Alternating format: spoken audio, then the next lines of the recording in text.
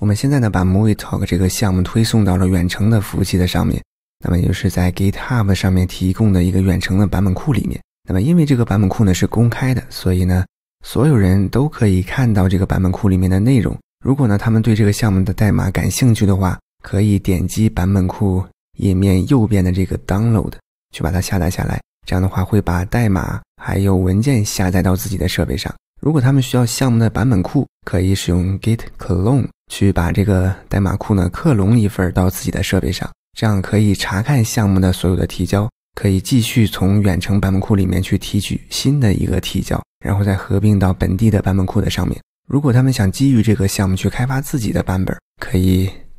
fork 到自己的账户的下面，再 clone 到本地继续的去开发，然后再推送到自己的远程的版本库里面。如果他觉得我们也可能需要他提交的这些东西的话，可以呢去申请一个 pull request。提交以后，我们可以查看这个 pull request 的东西。那么如果觉得合适的话，可以去把这个 pull request 合并到我们自己的项目里面，或者呢也可以成为这个项目的贡献者，共同去开发。这个呢需要我们先在项目的设置的界面上面去添加指定的贡献者，这样呢被添加的贡献者。就会拥有一个写入到版本库的一个权限，也就是他们可以使用 push 去把自己的提交推送到我们的远程的版本库里面。那么在下面的视频里，我们再请出几个临时的演员，模拟一下这几种情况。